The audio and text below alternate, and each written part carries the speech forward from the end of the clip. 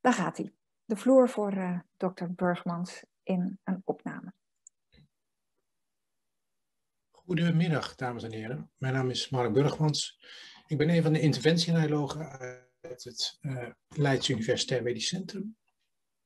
En ik spreek tot jullie via een video, omdat ik vandaag dienst heb en er dus niet live bij aanwezig kan zijn.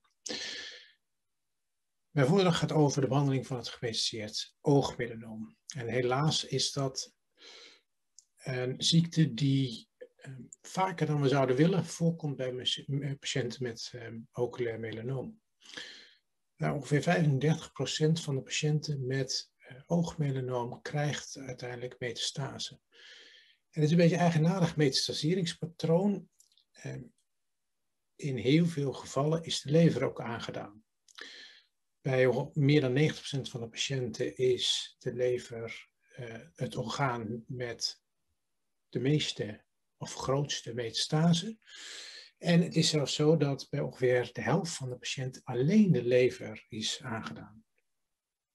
Nou, als de lever is aangedaan, is vaak sprake van uh, bilobere en diffuse ziekte. En bilobere betekent dat het in de lever, in beide leverkappen uh, zit. De lever heeft een linker en een rechter leverkop. je ziet hier op het uh, plaatje hoe dat eruit ziet. Het zijn allemaal van deze kleine zwarte stipjes her en der in de lever. En die zwarte stipjes, nou, dat is het melanine wat je ziet. En dit zijn typische metastasen van het oogmelanoom. En ze zitten dus verspreid in de lever. En omdat ze vaak in veelvoud en verspreid in de lever voorkomen, is het lastig om bijvoorbeeld te opereren. Um, nu is het ook lastig om systemisch te behandelen. Er zijn maar weinig systemische opties. Eigenlijk is normale chemotherapie uh, niet effectief. En de resultaten van bijvoorbeeld immunotherapie zijn nog wel teleurstellend. Nou, zonder behandeling heeft de ziekte een zeer slechte prognose. Dus uiteraard hopen we dat we patiënten toch iets kunnen bieden. Als iemand oogmelanoom heeft en dat is succesvol behandeld, dan worden mensen gescreend. En we doen in principe een echografie iedere zes maanden als uh, screening. Nou, echo is niet um, de beste um, beeldvorming wellicht. Uh, het kan zijn dat je hier metastase mee mist, zeker als ze klein zijn. Maar het is wel zo als je nou uh, iedere zes maanden een echo doet, is de kans dat je uh, metastase in een vrij vroeg stadium oppikt toch wel uh, groot. Als er um, op de echo een verdenking rijst van metastase, dan wordt er aanvullend CT of MRI gedaan. Lijken een beetje op elkaar, maar CT werkt met röntgenstralen en MRI werkt met een magnetisch veld. En ze maken daarmee toch ook eh, andere beelden. Beide maken gebruik van um, iets wat uniek is aan levertumoren, zeker ook het oogmelanoom, namelijk de vascularisatie. Het normale leverparadigma heeft via twee wegen zijn bloedtoevoer. Dat is via de poortader, de vena porta, en dat is de belangrijkste toevoer. Dus de lever wordt hoofdzakelijk van bloed eh, voorzien door een vene. De vene die dus bloed brengt vanuit de buik, vanaf de darmen naar de lever toe. En maar een klein deel van de doorbloeding van de lever wordt verzorgd door de leverslagader. Ongeveer uh, een kwart van de bloedvoorziening is via de slagader. Bij een kwaadaardige levertumor is dat omgedraaid. De meeste kwaadaardige levertumoren krijgen juist al of vrijwel al hun bloed via de leverslagader en maar heel weinig via die poortader. Nou, daarvan kunnen we gebruik maken om lesies tumoren te karakteriseren. Dit is een CT-scan en op die CT-scan zie je dat hier de grote lichaamslagader, deze witte ronde structuur, uh, heel fel wit is. Dus die CT-scan is gemaakt op het moment dat al het contrastmiddel, het witte, zit in de slagader. En je ziet dan ook dat hier in de lever verschillende hypervasculaire tumoren zitten. Dus tumoren die in die arteriële fase, op het moment dat het bloed in de arterie zit, veel contrastmiddel opnemen. al die witte ehm, pijlen die je ziet, die wijzen naar verschillende metastasen van het oogmelanoom in de lever. Dus door gebruik te maken van contrastmiddel, door het principe te benutten dat levertumoren anders van bloed worden voorzien dan het normale leverparadigma, kunnen we de verdenking hoog of heel hoog maken dat we te maken hebben met uitzaaiingen en metastase van oogmelanoom. MRI biedt nog extra mogelijkheden. Uh, bij MRI zijn er allerlei verschillende technieken. Een daarvan is diffusion weighted imaging. Nou, ik zou niet te veel op de technische details ingaan, maar je ziet hierbij dat, en wederom kijk naar de pijlen waar die naar wijzen, overal witte stipjes zichtbaar worden uh, in de lever. Nou, hele kleine witte stipjes. Dat zijn witte stipjes die je met de CT eigenlijk niet uh, op zult pikken, maar met MRI kun je die wel oppikken. Dus MRI geeft de meeste uh, informatie en MRI is dan ook um, de beeldvorming die we in het LMC inzetten als we de verdenking hebben dat iemand metastase heeft van het oogmelanoom. Als er metastase zijn, dan willen we natuurlijk graag weten hoeveel dat er nou precies zijn, want dat bepaalt de behandeling die we kunnen uitvoeren. We maken grofweg onderscheid in deze vier categorieën. Solitaire levermetastase, oligometastase, multiple metastase of extrahepatische metastase. En solitair wil zeggen dat er maar één tumor is. En als er maar één tumor is, dan overwegen we um, te opereren om met een resectie die tumor weg te halen, eventueel een ablatie te doen. Daar kom ik later op terug oligometastase, ja, dan zijn er meerdere tumoren. En de definitie van oligo is niet helemaal duidelijk. Dat wil zeggen weinig tumoren, maar ja, wat is precies weinig? In de regel zeggen we nou zo'n drie tot vijf tumoren, dat beschouwen we nog als, weinig. Uh, daarboven hebben we um, te maken met multiple metastase. Als er maar weinig metastase zijn, ja, dan neigen we ook weer naar die twee um, behandelingen, ablatie of chirurgische resectie. De voorkeur gaat dan vaak uit naar ablatie. Leg ik zo nog nader uit. Bij multiple tumoren, ja, dan zijn we aangewezen op intraarteriële therapieën. En als de ziekte ook buiten de lever zit, dus extrahepatisch zit, ja, dan is er eigenlijk alleen een optie voor systemische therapie. En ik gaf al aan, systemische therapieën zijn er bij het oogmelanoom maar heel weinig voorhanden. Nou, iets over die ablatie. ablatie is een uh, techniek die we percutaan noemen. Dus via de huid plaatsen we een naald in een tumor.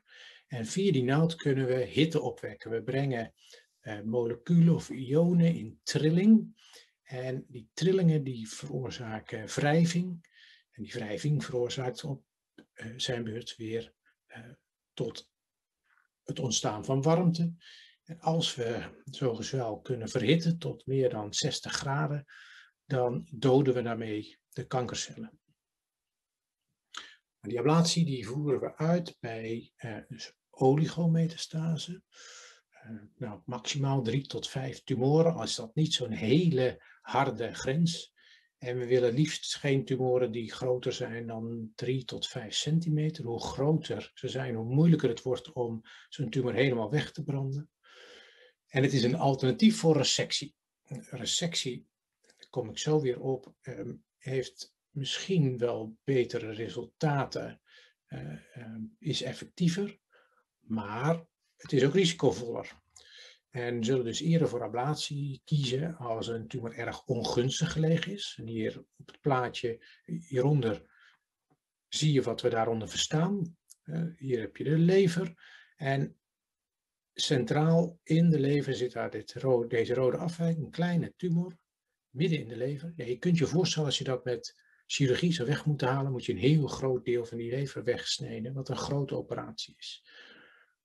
Dus als het zo'n lastige ligging betreft, is het ehm, waarschijnlijk beter om een ablatie te doen, wat veel minder ingrijpend is.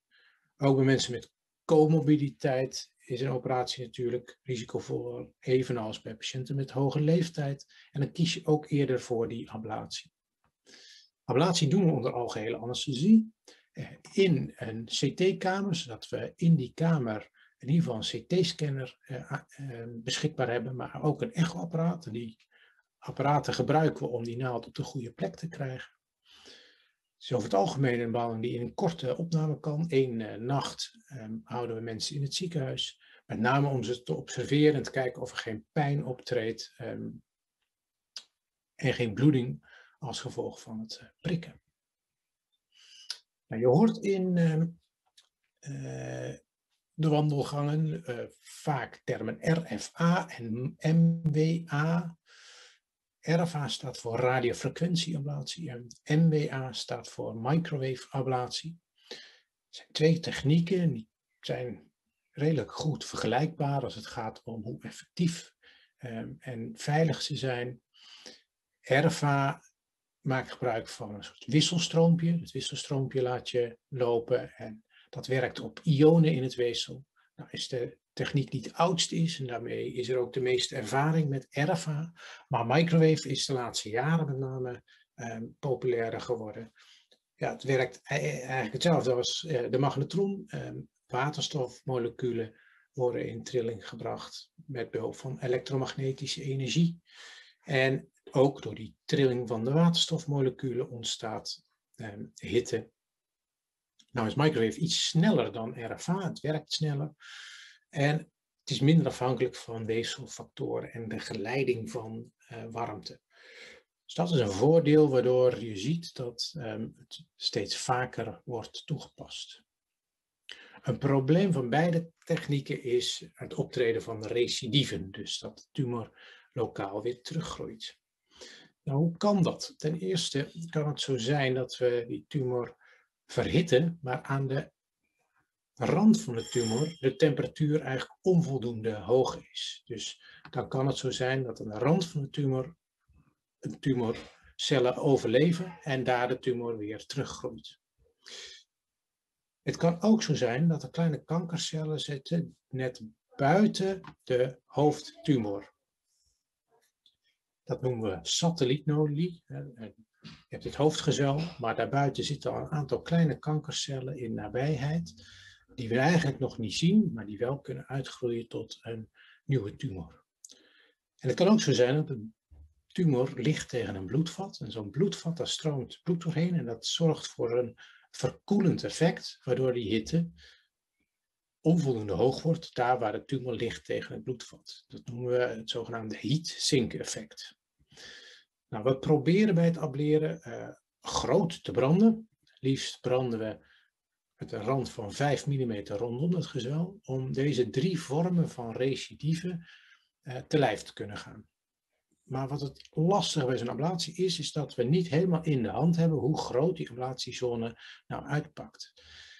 Uh, die verbranding is afhankelijk van allerlei factoren. Hoe dicht het tumorweefsel is, of zo'n tumor een kapsel heeft aan de uh, oppervlakte, hoe het leverparagiem is. Is dat een zieke lever of een geel gezonde lever? En hoeveel bloedvaten zijn er die in de nabijheid van um, de tumor liggen? Nou, die factoren maken dat een ablatie ook wat vervormd kan zijn. En zo kan het zijn dat er op de meeste plekken ruime marges zijn behaald, dus dat er ruim om die tumor is weggebrand, maar op een enkele plek onvoldoende ruim. En dan kan daar een tumorcel of meerdere tumorcellen overleven en een recidief ontstaan. Dus nou, als je vergelijkt um, ablatie versus uh, sectie, dan kun je stellen, ablatie is zeker veiliger, geeft een sneller herstel van uh, uh, patiënten. Um, het is beter behoud van kwaliteit van leven en het is een stuk goedkoper. Maar resectie heeft toch minder recidive. Bij resectie haal je um, een groot stuk lever weg. Daarmee heb je ook ehm, zeker het gezwel in zijn geheel weggehaald. Dat kun je nog eens bevestigen door het stuk wat je weggehaald naar de patholoog te sturen. Om te kijken van nou is inderdaad de gehele tumor eruit. Bij ablatie ja, kan het zo zijn dat die ablatievorm minder gunstig uitpakt. En je zo toch een recidief ehm, kunt krijgen. En je hebt niet weefsel in handen. Dus je kunt niet bevestigen dat je die tumor ook echt helemaal ehm, weg hebt gekregen. Nou, dan gaan we van de ablatie en resectie naar de therapieën die we toepassen bij de multiple levertumoren. En therapie die we daar veelvuldig toepassen is de transarteriële therapie. Dat maakt ook weer gebruik van het principe dat een tumor bloed krijgt via de arterie en een leverparagiem bloed krijgt via hoofdzakelijk de poortader. Dus als je iets injecteert in de leverslagader, komt dat hoofdzakelijk bij het tumor terecht. En er komt maar weinig terecht in het normale leverweefsel. Een van de behandelingen die we doen is radioembolisatie. Dan injecteren we via die leverslagader bolletjes, bolletjes geladen met radioactief materiaal. Die bolletjes die lopen vast in de kleine bloedvaatjes van die tumor en die geven daar heel lokaal bestraling af. Dus het is een soort bestraling, inwendige bestraling. Dat doen we dus bij multiple tumoren, ook wanneer er geen extrepatische ziekte is. Het is toch een dure en ook ingrijpende therapie. En bij mensen die toch ook al ziekte buiten lever hebben, lijkt dat niet zo zinvol. Er zijn nog weinig studies over deze behandeling, zeker geen vergelijkende studies. Wat er aan studies gerapporteerd is, nou de overleving na die therapie varieert zo ongeveer tussen de 10 en de 19 maanden. Dat is redelijk goed, maar ook weer niet spectaculair. Het is nu nog geen standaard therapie, dus wordt nu in de landen niet veel gebruikt.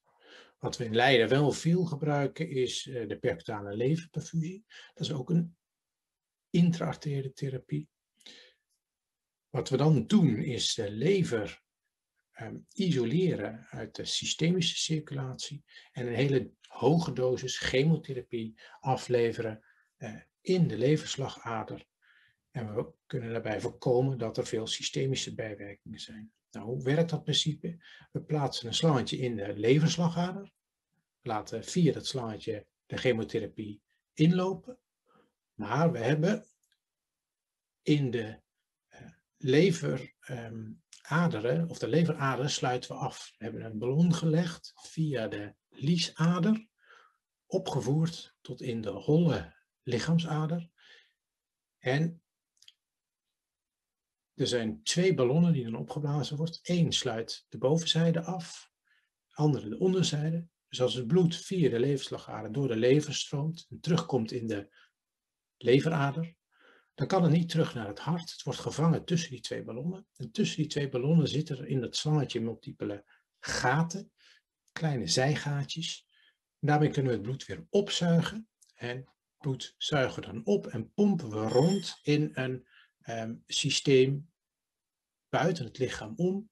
Dat systeem heeft twee filters. Die filters die zuigen de chemotherapie uh, uit het bloed. En het bloed wordt dan vervolgens weer teruggegeven via een slangetje in de hals aan de patiënt. En dat is dus het bloed wat grotendeels gezuiverd is van um, uh, chemotherapie. Nou, hier een voorbeeld. Een patiënt met uh, um, meerdere grote uh, metastasen in de lever. Um, dit zijn de plaatjes van tijdens de ingreep. Hier zie je een afbeelding van de leverslagaderen. Daar kiezen we dus het punt waar we de chemotherapie laten injecteren. En um, hier zie je een afbeelding bij twee ballonnen. Hier deze uh, bolvormige structuren liggen in de holle lichaamsader. En je ziet daar de leverader met het contrastmiddel erin. Als via die leverader bloed terugkomt, terug wil stromen naar het hart, wordt dat gevangen tussen die twee ballonnen en dus um, weggezogen en rondgepompt door het filtersysteem. Nou, je ziet hier uh, na twee behandelingen het effect. Vergelijk hier het plaatje boven met deze, dit grote gezwel in de rechterleverkwap. En daarna is het gezwel een stuk kleiner. En voor anderen geldt dat um, ofwel kleiner zijn geworden, ofwel verdwenen zijn. Nou, we hebben dat in het LMC onderzocht in een uh, studie. Dat was een studie die alleen in het LMC eh, liep bij betrekkelijk jonge patiënten tussen de 18 en maximaal 75 jaar.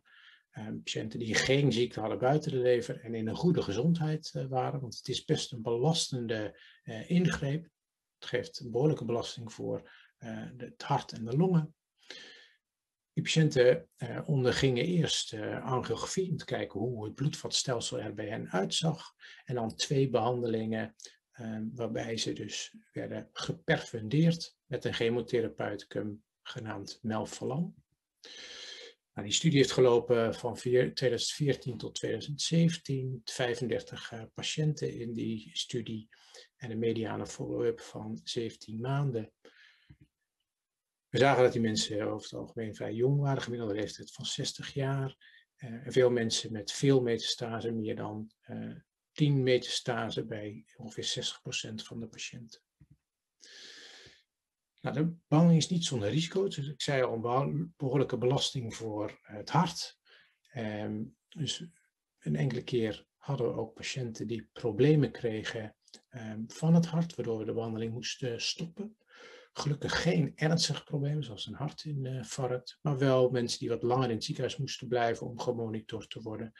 En wat de behandeling ook kan geven is um, um, dat er toch bijwerkingen zijn van de chemotherapie, met name een verlaging van de witte bloedcellen, waardoor mensen vatbaarder zijn voor uh, infecties. Nou, hier zie je het principe dat mensen vatbaarder worden voor infecties. Kijk niet te veel naar deze uh, afbeeldingen, maar wat hier aangegeven is, is dat het aantal witte bloedcellen na de behandeling kan dalen uh, rond dag 10 tot 14. We zagen in ieder geval dat er uh, een reactie was. Hier in rood, dat zijn de patiënten die ondanks de behandeling toch progressie van ziekte hadden. Maar in blauw de mensen die in ieder geval een reactie hadden of in groen zelfs een volledige verdwijnen van de metastase. Nou, um, deze curve hoeft je niet te, in detail te bestuderen, maar we zagen dat de gemiddelde overleving na deze behandeling 19 maanden was. Ja, hoe is dat dan? Is dat goed? Nou, 19 maanden is redelijk goed als je het vergelijkt met andere studies. Eh, in deze categorie patiënten is de mediane overleving ongeveer 10 maanden. Dus daar lijkt winst te zijn. Maar ja, dit is geen vergelijkende studie geweest. Dus voor een deel heeft ons goede resultaat ook wel te maken met eh, de selectie van goede patiënten, relatief jonge patiënten, die geen ziekte hadden buiten de lever. In de Nederlandse richtlijn is er inmiddels wel ruimte gecreëerd voor deze behandeling. En er staat in dat het moet worden overwogen als regionale behandeling. En ook de eh, Engelse National Institute for Health and Care Excellence, NICE, heeft eh, aangegeven dat ze een rol zien voor deze behandeling. Maar het is helaas nog niet gekomen tot een erkenning door Zorginstituut Nederland. Nou, wij gaan verder met deze behandeling. Heel kort iets over de volgende studie. We gaan het combineren, de perfusie met immunotherapie. We denken dat die twee elkaar kunnen versterken. Deze slide hoeft er ook niet in detail te bekijken, maar wat we gaan doen is in deze studie um, een twee groepen patiënten vergelijken. Een groep die behandeld wordt met alleen de leverfusie en een groep die behandeld wordt met de combinatie van leverfusie en immunotherapie. En we denken dat die twee therapieën elkaar kunnen versterken. En die leverfusie die geeft um, celsterfte van uh, de tumoren. En dat kan het immuunsysteem aanzetten tot een opruimreactie. En hopelijk wordt die opruimreactie versterkt door het geven van immunotherapie. Goed, oh, tot slot, uh, nog even samenvattend. Vier categorieën had ik genoemd. Solitaire metastase, oligometastase, multiple metastase en die patiënten met extripatische ziekte. Grofweg uh, hebben we voor die patiënten achtereenvolgens resectie, um, ablatie, de transarteriële therapieën, met name de leverfusie en de systemische therapieën. En momenteel loopt in het LMC de Chopin-studie waarbij we de leverfusie combineren met immunotherapie. Ik dank u voor uw aandacht en um, er is ruimte voor vragen, al is het niet zeker dat ik die zelf zal beoordelen. Oké, nou Martina, uh, de vragen uit de chat, de vragen die je hebt over beide presentaties. ga je gang. Ja, nou allereerst hartelijk dank aan dokter Kapitein en dokter Burgmans voor deze heldere presentatie. Wat betreft de Tebenta-FUSP, we realiseren ons de obstakels en het vele werk wat dit met zich meebrengt om daadwerkelijk die tabentafus bij de patiënt te krijgen, waarbij de zorg en de nazorg centraal staat. Um, we hebben veel vragen tevoren en tijdens de chat al gekregen en we hebben daar gelukkig wat tijd voor, dus ik begin met de eerste vraag. De IP-niveau te geven vanaf oktober 2020, is dat alleen in de Chopin-studie? Nee, dat is uh, daarbuiten ook. Um, dat is eigenlijk de huidmelanoombehandeling die we dan geven aan uh, oogmelanoompatiënten met uitzaaiingen. Um, en um, we maken dan wel een selectie voor, van fitte patiënten, een normaal LDH, uh, niet te veel tumorcellen of tumorlood, dus uitzaaiingen. Dus dat geven we ook buiten de Chopin-studie. En dat is met name gekomen door een aantal case-series in de literatuur, waarin dan toch redelijke resultaten werden beschreven, maar ook met selectie van goede patiënten. Dank u wel, duidelijk. Um, excuseer als er dubbele vragen zijn. Er zijn natuurlijk ook altijd vragen van tevoren gekomen, maar het is ook een moeilijke materie. Dus misschien vindt u het niet erg om, de, om, om ze toch nog een keertje te herhalen, de antwoorden. De immunocure-studie, is dat dezelfde therapie als Tebentafusp? Ja, ja. Tebentafusp is hetzelfde als IMCGP100 en Immunocore is de farmaceut. En loopt die studie nu nog of niet? Nee, nee, de studie is beëindigd en die resultaten heb ik laten zien. Ja. Dat was een verschil in overleving en uh, daarmee is Immunocore, dus de firma, naar de FDA in Amerika gegaan en EMA in Europa. Dat zijn de keurende instanties om goedkeuring uh, of registratie te krijgen. Dus de studie loopt niet meer. Nee. Dank u wel. Um, wat is het verschil tussen de immuuntherapie Tebentafusp en de immuuntherapie zoals IP-niveau als in de Chopin-studie? Ja, dat is een goede vraag. Um, Tebentafusp werkt op een andere manier. Die bindt aan twee, uh, is een antilichaam wat zich aan twee uh, uh, ja, plekken bindt, namelijk GP100 en CD3. En op die manier de immuunrespons probeert te verkrijgen, terwijl eh, IP-niveau eh, met name op checkpoints gaat zitten. En checkpoints zijn, um, ja, als je een immuunsysteem hebt, wil je eigenlijk niet dat het de hele tijd aanstaat. Dus er zijn bepaalde checkpoints die het immuunsysteem remmen om niet continu ja, activatie van je immuunsysteem te hebben, want dat is niet goed voor het lichaam. Maar als je kanker hebt, wil je dat juist wel wil je juist wel dat dat immuunsysteem uh, aan de gang gaat. Dus die checkpoint remmers die halen eigenlijk een soort remweg om het immuunsysteem aan te zwengelen. Uh, dus het zijn andere uh, aangrijpingspunten. En qua bijwerkingen zijn ze ook anders. Bij de tebentafus zit je met name met je allergische reacties. Bij de IP-niveau zit je met name met ontstekingen die ook op lange termijn nog kunnen komen en doorgaan.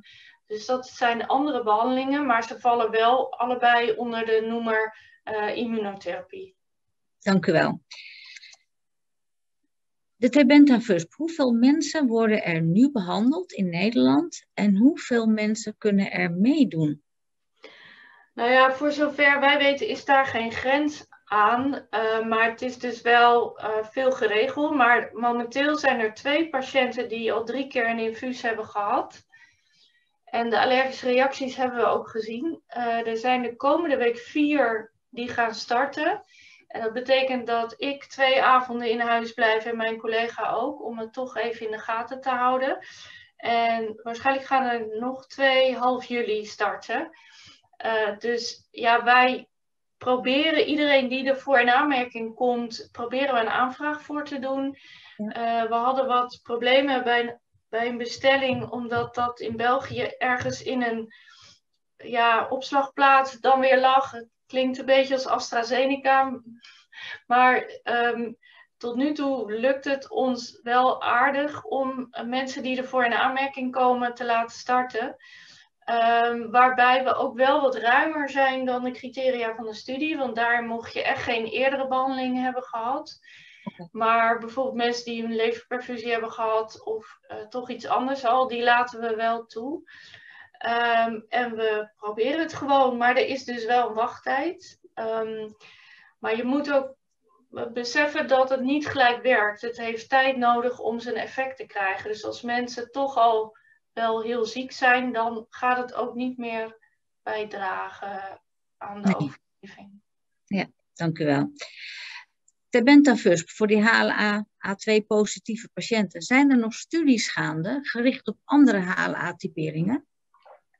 Nee, um, wat wel uh, gaat komen is, en dat is nog een beetje geheim, maar Novartis gaat weer uh, toch met de PKC-remmers verder. Um, daar hebben we van de week overleg gehad. Dat wordt ook weer een studie met uh, maar een paar centra in de wereld. Grotere Amerikaanse centra en Australische centra en in Europa in ieder geval Leiden en Parijs. Um, wij zijn zelf natuurlijk bezig met de Chopin-studie. Dus op die manier proberen we echt verder te komen. Wat er misschien mogelijk ook gaat komen is voor mensen met een hoog risico oogmelanoom. Dus de grotere tumoren met meer chromosoomafwijkingen. Om het na de operatie of de bestraling aanvullend te geven. Dus adjuvant. Uh, om te voorkomen dat het terugkomt. En dat is een studie die mogelijk via de EORTC gaat lopen in Europa. Uh, maar dat, dat is ook nog niet zo ver. Ook omdat het middel nog niet eens geregistreerd is uh, voor de indicatie voor uitgezaaid oogmelanoom. Ja, duidelijk. Vanmorgen hoorden we professor Blank ook al iets zeggen over een mogelijke adjuvante, studie naar adjuvante therapie bij oogmelanoom. Praat u dan over hetzelfde, praten we dan over hetzelfde onderwerp? Oké, ja, dank u wel. Ja, ja, professor eh, Blank is hoogleraar in het LUMC en wij hebben veel contacten hierover. Uh, ja. Nou, hoopvol. Um, even kijken, de volgende vraag. Dank u wel. Um, de Chopin-studie, zijn daar al resultaten van bekend? Nee, hij loopt nog. Het enige resultaat wat we kunnen melden is dat de combinatie, de fase 1-studie, uh, dus het deel waarbij we eerst zijn gaan combineren met lage dosering, IP-niveau, toen hoger, die is veilig bevonden. Dus daarom mochten we door naar de fase 2. En daarin hebben we nu zeven patiënten gelood. We moesten weer even wachten op de Data Safety Monitoring Board. Dus dat is een onafhankelijke board die uh, de bijwerkingen beoordeelt. En daar hebben we 12 juli weer overleg mee en dan mogen we weer verder. Maar we moeten nog veel meer mensen includeren. In totaal nou ja, 38 in de ene groep en 38 in de andere. En dan pas daarna kunnen we pas zeggen welke het beter doet. Oké, dank u wel. Dank u wel, duidelijk.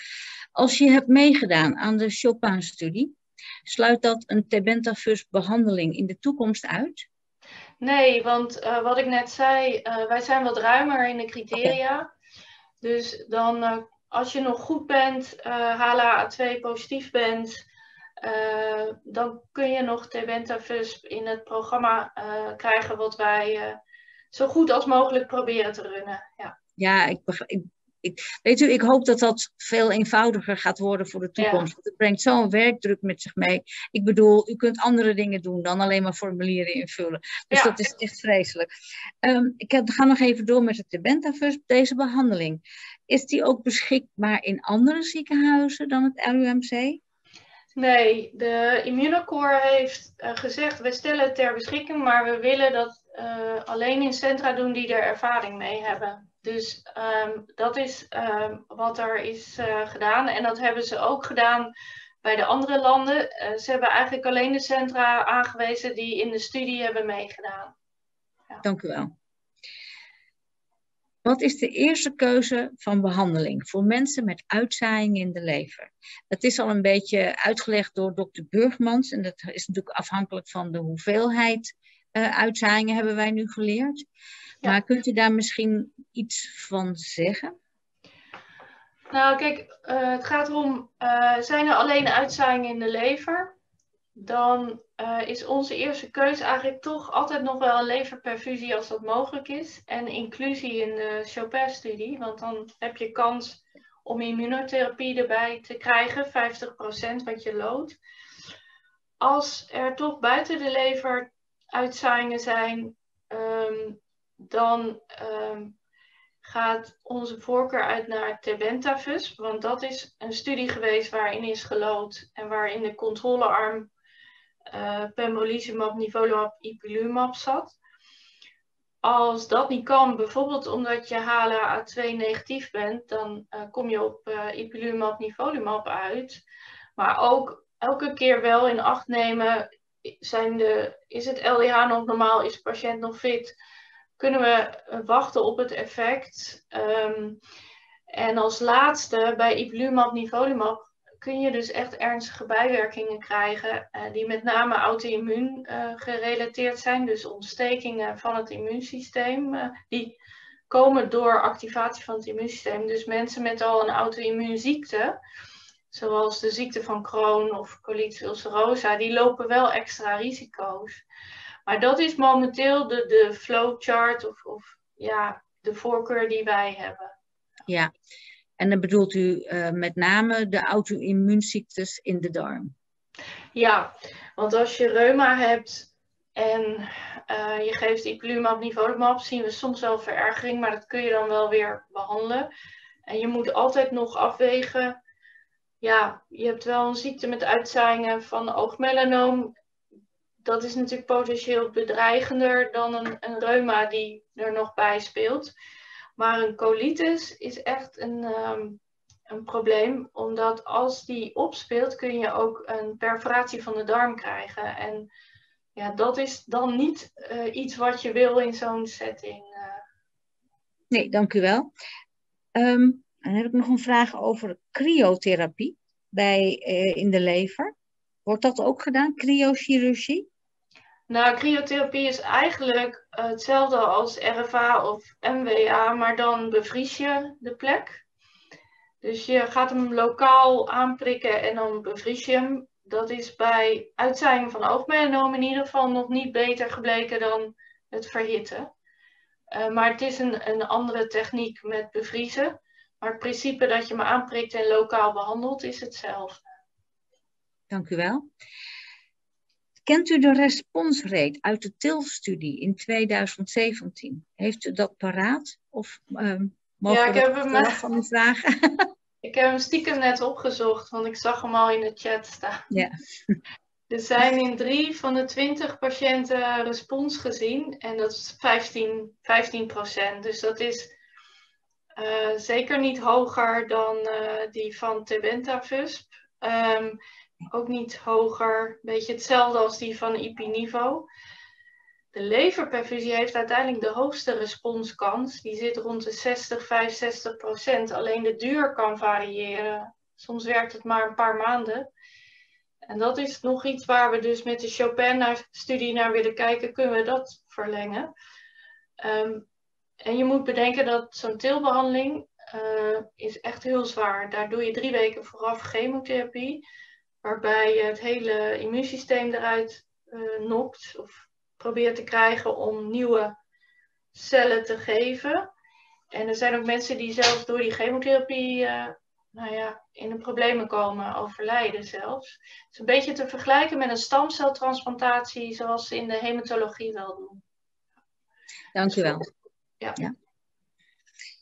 Slapende cellen bij oogmelanoom is er een risico dat een COVID-vaccinatie, misschien een andere vaccinatie, maar die COVID-vaccinatie is actueel, um, maar kan die slapende cellen wakker maken? Dus juist een uitzaaiing uh, veroorzaken?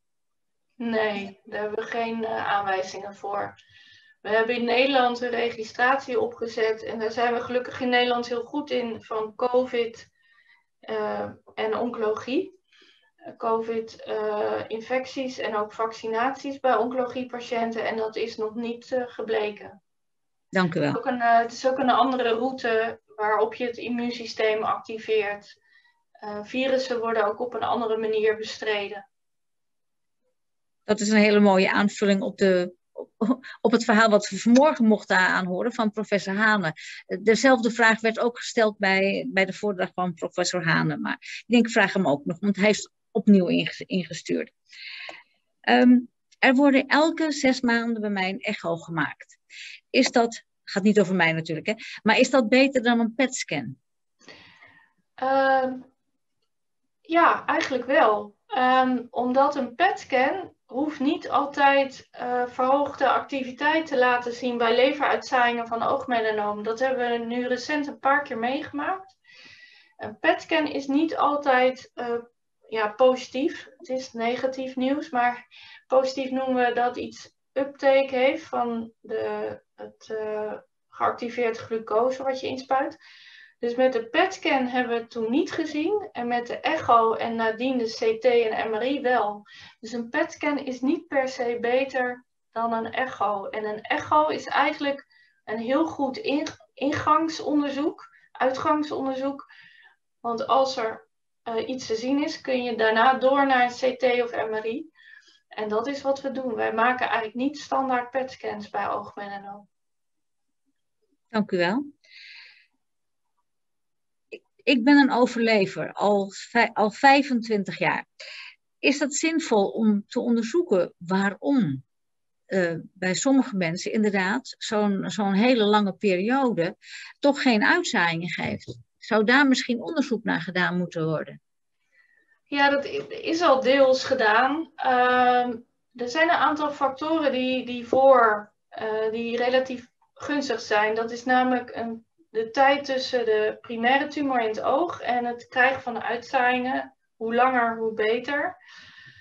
Uh, als je het hebt over helemaal geen uitzaaiingen krijgen, dat hangt waarschijnlijk samen met uh, chromosoom 3 of 8 uh, afwijkingen. En daar is al wel naar gekeken en ook het BAP1-gen. dus daar is een moleculair profiel wat relatief gunstig is. Um, en wat ook al wel bekend is. De vraag is of je dat wil weten van tevoren. Want stel dat je dat niet hebt, ja, dan, ja, dan weet je dat de kans gewoon groter is dat je het wel terugkrijgt. Maar dan weet je ook weer niet wanneer dat is. Nee. Dat is dan een individuele, ja, individuele vraag voor iedereen. En daarmee loop ik een beetje vooruit. Volgende week hebben we het over, uh, over de, hoe ontstaat een UVA-melanoom. En uh, ook gegevens uit de UM Pure 2020. En dan zullen we daar ook die vraag weer kunnen stellen.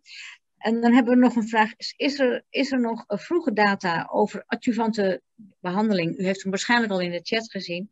Bij hoog risico oogmelanoom. Uh, bij patiënten. Um, er, is een, er is al een tri trial lopend voor IP-niveau, de combi. Is er al data of, uh, voordat we beginnen aan die adjuvante uh, therapie-studie? Nou, kijk, als je een adjuvante studie gaat doen, dus dat is aanvullend naar inderdaad behandeling hoog risico oogmelanoom, dan wil je zo'n adjuvante behandeling doen om te voorkomen dat er uitzaaiingen komen dan moet je eerst een goede behandeling hebben voor mensen met uitzaaiingen. Dat is wat er meestal gebeurt. Dus bij huidmelanoom ook gebeurt. Dan hadden we pembrolizumab, nivolumab. Toen is gezien dat werkt in uitgezaaide ziekte, laten we dat dan adjuvant testen. Om te kijken of het voorkomt of de ziekte terugkomt. Nou, inmiddels is dat standaardbehandeling. Die studies hebben een aantal jaar geleden gelopen. Tebentafusp heeft nu een effect laten zien in de gemetastaseerde of uitgezaaide situatie. Dus is het logisch om dat als adjuvante behandeling te gaan geven. En die studie gaat er ook komen uh, via de EORTC, is de Europese Kankerorganisatie. Dus dat soort uh, links worden gemaakt. Uh, een adjuvante studie met IP-niveau kan, maar ik denk dat je dan meer je pijlen moet zetten op Tebentafusp, als ik eerlijk ben. Aan de andere kant heb je natuurlijk een HLA A2 negatieve groep, ja. waar je op een gegeven moment ook wat voor wil doen. Dus misschien, en dat hebben we ook wel aangegeven, uh, en dat hoop ik ook, wil de ERTC wel zo'n gecombineerde studie doen. HLA A2 adjuvant Tebentafusp, HLA A2 negatief adjuvant IP-niveau. Um, daar heb je wel veel centra voor nodig. Want het is een zeldzame tumorsoort, oogmelanoom. Maar zo'n concept zou ik wel heel erg aanmoedigen. Ja, dank u wel. Een hele, hele mooie verklaring. Dank u wel ook voor uw inzet hiervoor. Dan zijn we aan het einde gekomen van alle vragen. Alle vragen zijn gesteld. Dank u wel voor alle antwoorden. En dan wil ik u en dokter Burgmans heel erg hartelijk danken, maar zeker ook uw aanwezigheid tot aan het einde. Ongelooflijk. En het is natuurlijk niet voor niets dat u al twee keer bent uitgenodigd door ons. De vragen, en zeker door de Tabenta Fusp. Ja, ik bedoel, ja, ja. heel erg bedankt. Ik begrijp dat we een, een, een zwaar beroep doen op ook uw vrije tijd. Maar heel erg bedankt. Heel erg bedankt voor deze mooie presentatie. Graag gedaan. En uh, als het nodig is, ben ik de volgende keer er weer bij. Super. Ja? Dank u wel, dokter kapitein. Dag. Fijn, heel fijn. Uh, Martina, ja. Um, ik wil nog even. Tijd voor de afronding, toch? Ja, ja, ik wil eigenlijk uh, een, een, dankwoord uitspreken aan uh, nu, niet alleen de sprekers die zich zo hebben ingezet, maar ook, ja, het is van onschatbare waarde wat ze vertellen. En dat op een vrije zaterdagmiddag, dat is ongelooflijk. Maar natuurlijk willen we ook uh, de, degene bedanken die die vragen hebben ingestuurd. Want zo krijgen we echt antwoord op vragen die misschien bij veel meer dan één mens leven. Ja. En een speciaal dank aan het team wat achter de schermen, eh, het lijkt hier zo rustig achter mij, maar geloof me, er zitten drie mensen, heel, zijn heel hard bezig. En ook bij de opzet van het, uh, van het melanoom informatiedagenteam. En dan wil ik ook wat namen noemen eigenlijk. Um, Koen van Elst, Erik Klop, Masja Ros, Pim Jansen en Bianca Oei. Die wil ik ook heel hartelijk danken. En heel graag tot ziens volgende week op 3 juli. Waar dokter Pieter van der Velde en professor Martine Jager een presentatie zullen geven op hoe ontstaat een UVA-oogmelanoom en de resultaten uit de UM Cure die pas zijn gepubliceerd. Dus eigenlijk vers van de pers vanuit Leiden. Dank jullie wel. Wauw, dankjewel uh, Martina. En uh, ja, hier nog, nog hè, de aankondiging van volgende week uh, in een slide. Begint om 12 uur. En Yvette, mijn collega, zet nu de link in de chat waarmee je je kan aanmelden. Dus dan heb je je gelijk ingeschreven. Deel 3 is op 16 oktober. Onderwerp weten we nog niet helemaal goed. Maar uh, daar zijn de, de, mensen op de achtergrond van Stichting Melanoom natuurlijk hard mee bezig. Dan starten we die zaterdag 16 oktober om 2 uur. Um, dan is het inderdaad tijd om af te ronden, maar niet voordat ik zeg dat de Stichting Melanoom afhankelijk is van giften en donaties. Um, het zal heel fijn zijn um, ben je nog een donateur, dat je dat in ieder geval overweegt. Of misschien een gift. Dan kunnen we dit soort dingen blijven doen. Ik denk dat het heel belangrijk is. En uh, nou, alvast bedankt daarvoor. Dit is echt het einde. Meer informatie op stichtingmelanoom.nl.